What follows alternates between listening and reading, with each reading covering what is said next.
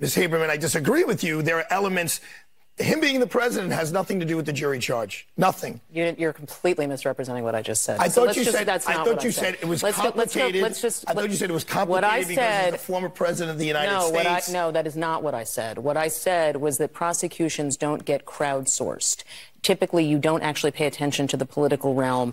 But in this case, it is understandable. And I'm not talking about the jury charge. You totally misunderstood what I said. Okay. So regarding the jury charge, then I'll go. I'll, I'll, I'll go no, after Ellen. Regarding the jury charge, it's, it's really, it's usually not complicated to to describe the elements of the crime.